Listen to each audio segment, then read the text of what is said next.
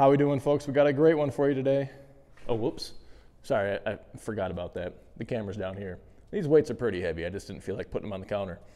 Anyway, so um, you may have seen a Facebook post or a YouTube post previously about this, but these suitcase weights here by John Deere, this particular one, it says 20 kilograms and 40 pounds on it. And uh, for some time now, that's not really bugged me, but sparked my curiosity as to uh, which one was correct because 20 kilograms does not equal 40 pounds. So I felt it probably had to be one or the other. And so finally, I broke out my scale. And what we're going to do today is weigh all the suitcase weights that I have, the 40 pound suitcase weights. And then I've only got a few of these 70 pound suitcase weights. And then I just have a pair of these 110 pound suitcase weights. Okay. And that's just the uh, typical advertising that you would hear them called. So 40 pound, 70 pound, 110 pound. Okay.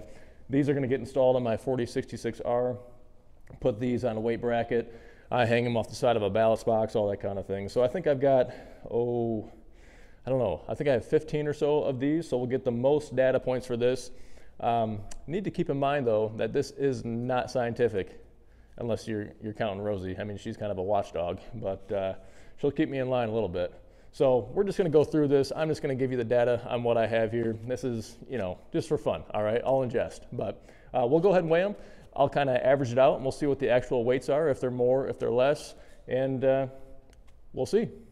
So let's find out if we're getting gypped by John Deere or if we're getting a steal of a deal. So if you like what you see here, would you consider supporting my channel by subscribing? You can also check out my Facebook page where I post a lot of my coming soon listings, and then also my website, a constantly rotating inventory of tractors. Right, Rose? All right, here we go. Okay, so we've got the scale here. You can see it zeroed out, okay?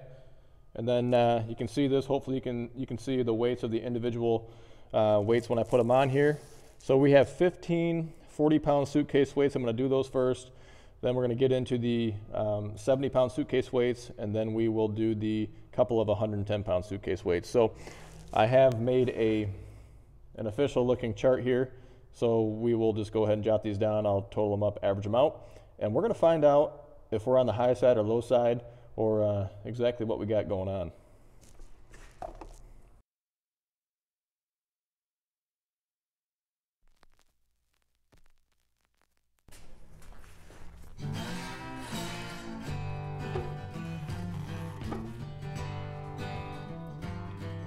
Forty-one point two.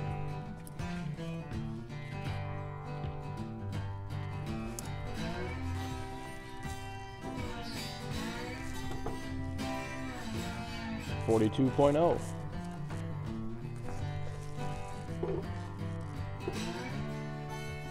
Forty-one point eight.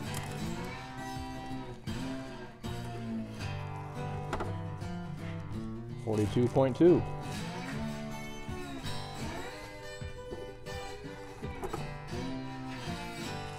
point two. Forty-two oh.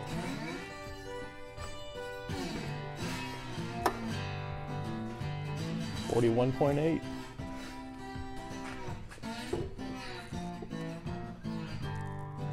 Forty-one point eight. Forty-two point oh. Forty-one point eight. Forty-two point two. Notice the logo on here. Look at this one compared to one of the other ones.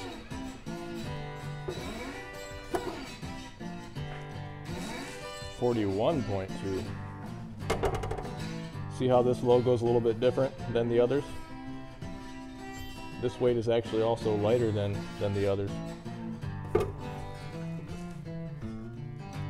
41.6.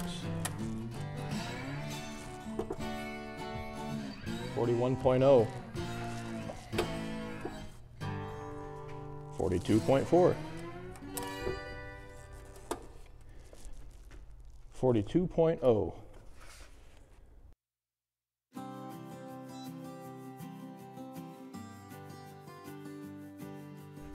Oh man, these are quite a bit heavier. Oh goodness.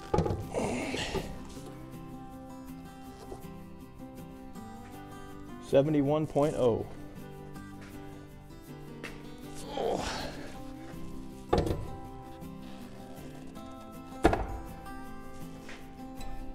71.2.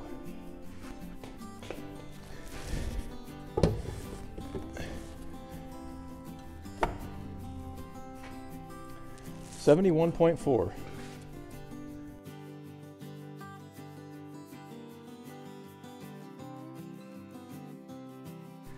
Now the hundred and ten pound. What? 102.4. This is supposed to be 110. Ah. Ah. Oh. Last one. There we go. 102.2. Huh. So a couple things to note. You know, one, it's not a certified scale. You know, this is this is just for fun. Um, I'm not getting that serious about it, but it's more just informational and, and, entertainment purposes is all. So we did have a mixture here of the John Deere branded weights as well as the aftermarket weights. Didn't really seem to be a whole lot of difference between one or the other. If you want to determine whether or not you're getting ripped off or if you're getting a steal of a deal, then I guess it depends if you go by kilograms or if you go by pounds. So if you're going by kilograms, you're going to be a little bit shy of, of what you're getting there. But if you're going by pounds, well, you're getting a few bonus pounds there. The one caveat to that, and the wheel weights here don't have 110 pounds or kilograms stamped anywhere on there that I can find. But I did get the hardware that came with the wheel weights that are specifically for the 110 pound suitcase weights. And so if you just Google that model number there, that part number for the hardware that came with them, you'll see they are specifically for the 110 pound suitcase weights. What I find interesting is that those suitcase weights didn't weigh anywhere near 110 pounds. In fact, they were roughly eight pounds less than 110 pounds. It almost makes me wonder if they're supposed to be 100 pounds and I got a couple extra pounds. However, that's not the hardware that came with it. That's not what I ordered, so doesn't add up. So anyway, I, I do also round. I'm aware of that. If I'm talking about, you know, the ballast weight in my tractor tires that are 1,470 pounds, well, it's just nice to have a round number. 1,500 pounds does make that easier. Same thing with a loader. You know, there's a 3R loader, for instance, that lifts 1,595 pounds to full height at the pivot point. Well, 1,600 pounds is just a lot easier to say. So I totally get it. I'm guilty of it as well. Anyways, I hope you found this entertaining. If you wouldn't mind, take a moment, subscribe to my YouTube channel, like my Facebook page, check out my other videos, and we'll see you in the next one. Adios.